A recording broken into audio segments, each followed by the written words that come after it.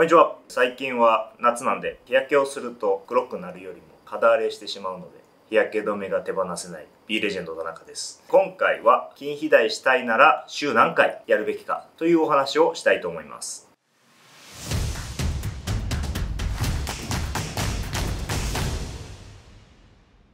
私は B レジェンドジムでトレーナーとして勤務しています。田中と申します。競技としてはパワーリフティングを行っております。実績としては近畿パワーリフティング大会74キロ級で優勝した経験があります。それでは本題の方に入っていきましょう。で先に結論をお話しすると、まあ、筋肥大したいなら、まず初心者の間はですね、週1回では刺激が少し足りないかなと考えております。できれば週2回同じ部位に刺激を入れたいというところで考えています。まあ、ざっとした目安ですけど、体重70キロ、80キロぐらいの方だったら、ベンチプレス120キロ上がるぐらいまでは、まあ、週2回ぐらいはやるぐらいの目安を持っていただければいいかと思います。特に苦手部位あると思うんですよ。ここが特にこう全体の中でバランスが悪いなとかまたは腕を太くしたいなとか。せっかくトレーニングやるんだったら胸板を分厚くしたいなとか強くしたい部位あると思うんですけど、まあ、そこはやっぱり頻度を上げてできれば週2回、まあ、体力的にね回復力高い人は週3回ぐらいやれば良いかと考えています、ま、それでは、ま頻度を上げる理由についてお話していこうと思います。筋肉を作るためのトレーニングっていうところについて考えるとまずは刺激を入れると。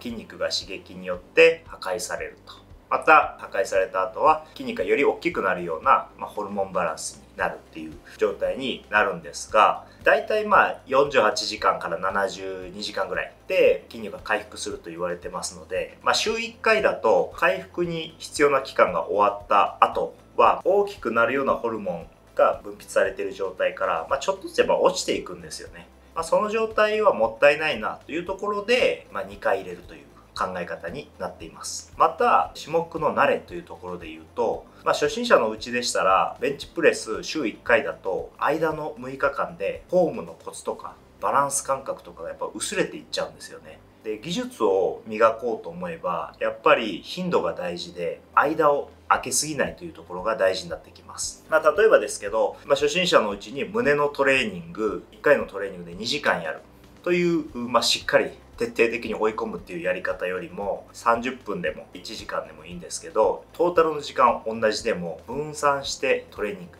するっていう方が初心者のうちは特に伸びがいいのかなと思ってます。まあこれ私の実体験なんですけどトレーニング始めたての頃に、まあ、胸だったら胸の日で、ま2時間ぐらいやってたんですよね。1週間ぐらい筋肉痛が取れない痛い状態まで やってましてでこうかなり初心者としてはめちゃくちゃ努力しましたもう胸だったら10種目ぐらい徹底してやるっていうのをやってたんですけどベンチプレス100キロ上がるまで2年半ぐらいかかってますね。もともと空手やってたんで最初にベンチプレスやった時でも70キロぐらい上がってたんでペースから言うとむちゃくちゃ遅いですね。私のパーソナルトレーニング受けていただいてる方だと最初から70上がるぐらいでトレーニング経験そんなない人だったら3ヶ月以内でも普通に100キロとか全然上がっちゃうんで、まあ、そこで言うと週2回のパーソナルトレーニング通っていただいてる間は1回はまハードにベンチプレスしっかり行って回復力高い方はまもう1回しっかり行うってやるんですけど、まあ、通常の方だと1回ハードにやって、まあ、1回はホームを鳴らすというか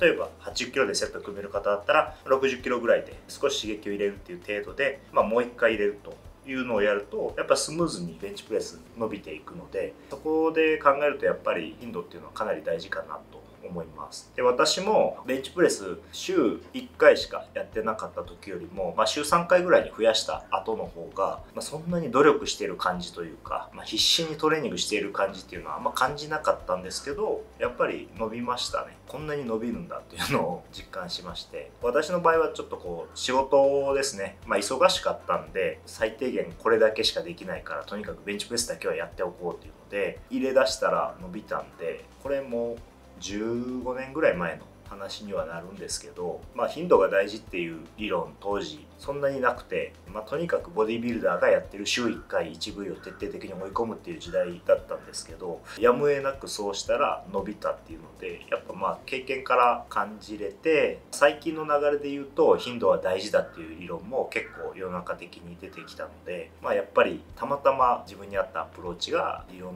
でも証明されるようになってきたなと思ったのでもし昔ながらの考え方で週1回ガンガン追い込むのがいいなと思われてる方だったらちょっと強度を下げる種目数を減らすコントロールするなどして、まあ、週2回3回とトレーニングを行ってみてください。補足的な考え方ですけど、まあ、る程度の初心者の方や、まあ、苦手部位があるっていう方は頻度を増やすっていう話をしてるんですが、まあ、これ土台を大きくしようというかまずベースのサイズ感を作ろうというところで考えてます。でよくトップ選手が週1回1部位で大丈夫っていう話をされるのもまあもちろん見るんですが、まあ、その方々と僕みたいな、まあ、多少普通の人の違いでいうと筋肉ある程度つきやすいホルモン状態だというところもあると思うんですよね。やっぱ才能がある人は筋合成は一般の人よりもしやすい体質っていうのもあると思います。でもう一つは筋量がある程度体の限界値に近づいているっていう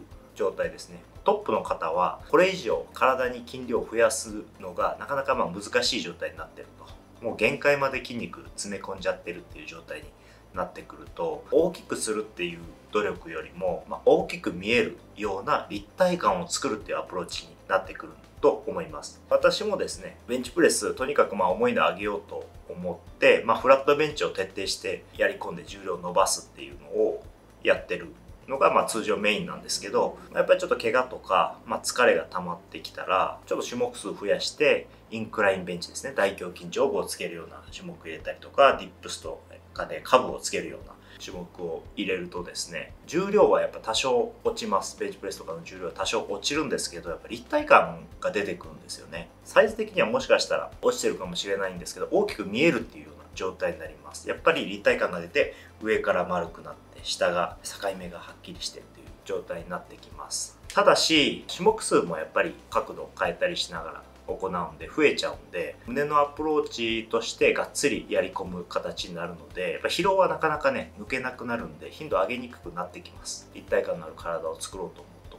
まあ頻度が下がってくるのかなというのはある種納得なので、まあ、コンテストとか出てねある程度経験もあって筋量をこれ以上増やすアプローチより立体感を出した方がいいっていう選手レベルの人とまずはフラットベンチとかでですね、まあ、サイズをつけて、まあ、ベースの体を作らないといけないっていう方のアプローチは少し分けて考える方がいいかもしれません。というのがま補足説明になります。いかがだったでしょうか？トレーニングの頻度、まあ、2回以上行った方がいいよっていうところの根拠をお話ししました。で、まあ、最初からいきなりハード2回を込むのは、まあ、しんどいし、ダメージも蓄積するとは思うので、まあ、まずは1回ハードにやると。で、間は普段やってる重量から、ま、10キロ、20キロ下げて、追い込みすぎないように、軽めに行うっていうのから導入すると、まあ、無理がないかなと思います。まあ、例えばですけど、胸、肩の日にがっつり追い込むと。で背中のメインの日だとしても最後に軽めにベンチプレスだけ入れてみるとですね、まあ、そういう組み入れ方がいいかなと思います。参考になった方はグッドボタンチャンネル登録をよろしくお願いします。B レジェンドの公式 LINE では毎日お得な情報を配信しています。B レジェンドではお得なセールも開催しておりますので概要欄からチェックしてください。それでは